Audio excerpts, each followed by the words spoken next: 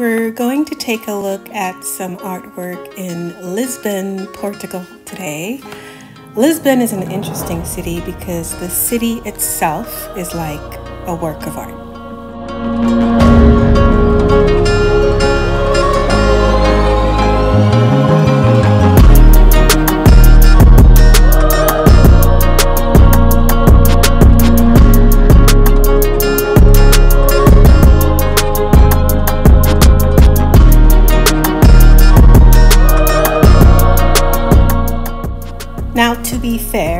Are a lot of tourists here, but this museum that we visited today, it was on the side of town where not many tourists were. It was more like in the business district.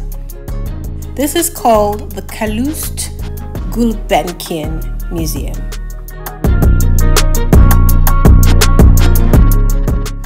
This entire museum is based on the collections of Calouste Gulbenkian.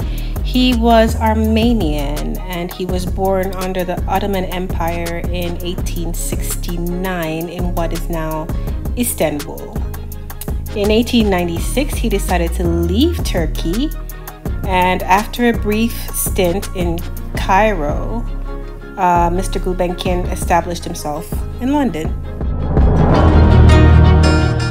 He is thought to have started his collection at the age of 14 when he bought some ancient Greek coins at the bazaar or the market in Istanbul. I think it should be mentioned that Mr. Gulbenkian came from a family of oil importers, so clearly he was a privileged 14 year old, but he used that wealth to further his knowledge and his love for the arts.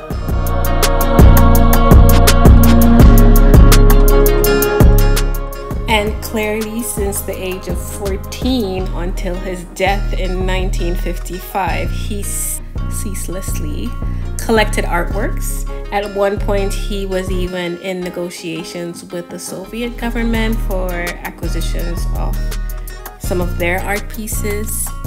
He was a tireless art collector, and this museum hosts some of his best pieces.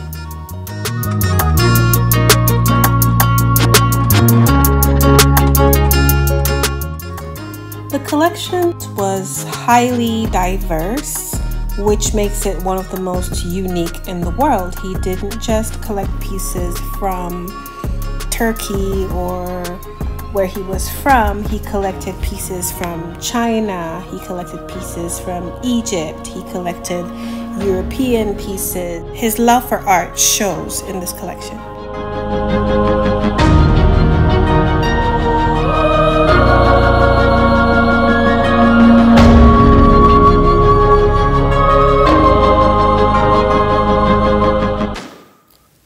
Entire art collection is massive, so what helps is that it is displayed in a geographic and chronological way. So, for example, all of the pieces from the Ming Dynasty are in the same area, all of the pieces from Turkey are in the same area, all of the pieces from Europe are in the same area. The museum's director is Antonio Filipe Pimentel and it's a gorgeous, gorgeous space on the inside and outside. And what I personally like about it is that each space that you go into is a dedicated space for that period of art, and it, it fits. The decor fits with the artwork. So, for example, you see here we have the vases from the dynasties in China um, and how the vases are displayed. It matches how the room is set up.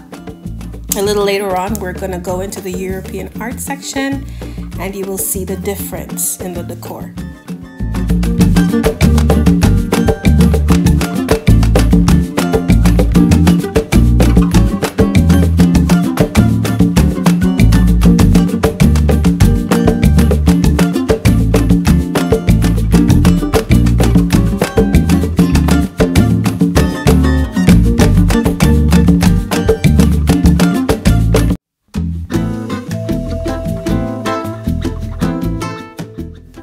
And here is the European art section of the museum. And you can see for yourself how the decor has now changed from stone and hard surfaces to wood, warmly colored wooden surfaces everywhere.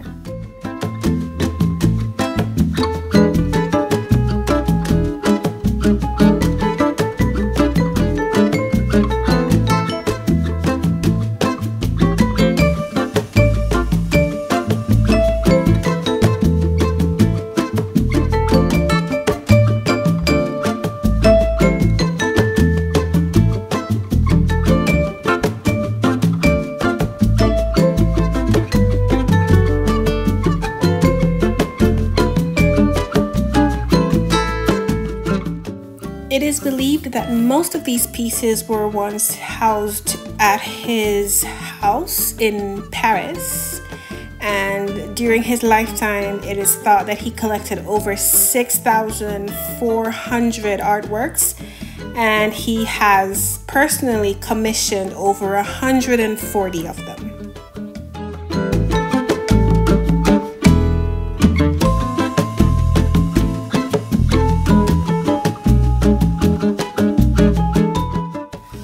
Day when we were there, there was a visiting uh, painting. So it was the self portrait of Rembrandt, which was, and I quote, to offer a notion of self representation and to offer a new reading of the two of Rembrandt's paintings already belonging to the Gulbenkian collection.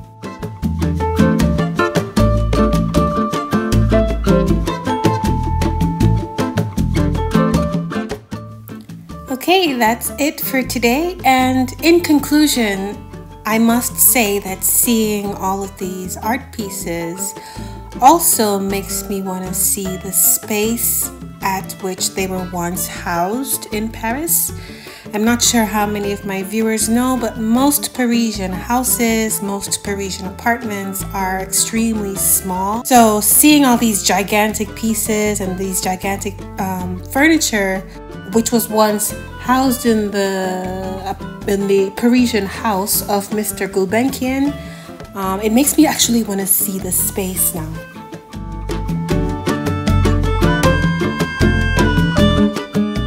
All right, that's it for today. I'll leave you with one of my favorite pieces from the collection. It's called Les Bretons au Pardon, which is means the Breton woman at pardon. And don't forget to like and subscribe to this channel. Thank you so much for supporting me, and I'll leave you with some scenes from Lisbon.